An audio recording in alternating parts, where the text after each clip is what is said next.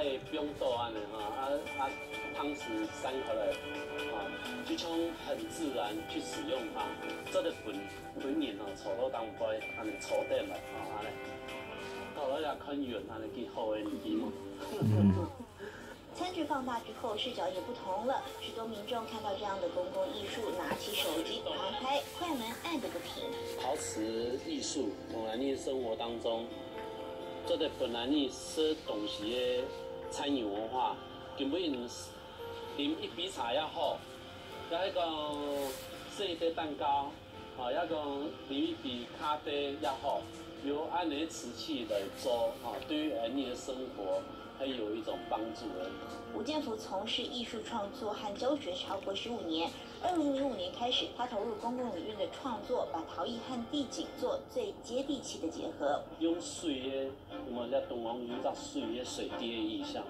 他既希望讲那个做出来用很呃莺歌在地的青花元素。所以那个青花吼，用较高把我们的墙法，啊，那个蓝山那个墙色，了了会有腔样吼，啊，那个青花迄个一笔一笔来画。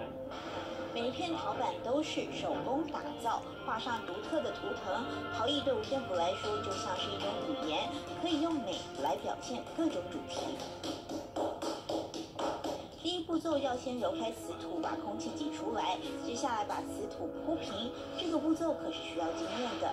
大家跟奶片哈，大后之后，嗯，将来大家等个植微压抑来种上去。好不容易把瓷土做成陶板的大小，下一个步骤居然跑去院子里头找植物。刚好，这个就可以成为我创作的这个材料，太好了。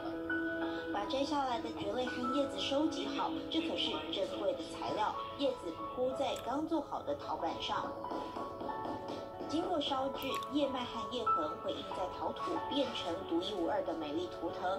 再上釉，简单的材料就能做出精致的花样。嗯，除了个世界上，啊，除了个生活环境地块，用的来了个自自然共存，所以咧，用来创作的一种主轴。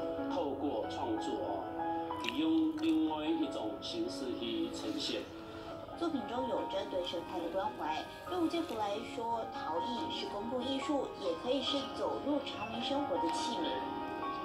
别小看这只茶壶，有棱有角的模样，低调的颜色，精致纹路，得到了台湾陶瓷金质奖、生活茶具竞赛的金奖。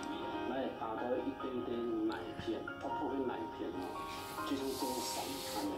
所以人家跟那个茶壶的，就迄一堆奶片夹起来的，吼，啊，那个带买一堆奶片夹起来，哦，到那个面那个茶壶的盖，哦，然后第二堆奶片去做出来。从把手到壶嘴都是一片片小陶片拼接起来的，用裁缝的逻辑做出纹路和质感。最小的事情也要做到最好，把朴实又追求进步的客家文化融入陶艺当中，创造出的不只是一种生活观，更是一种艺术境界。这是陶艺之美，而您知道无毒鱼要怎么养吗？澎湖的。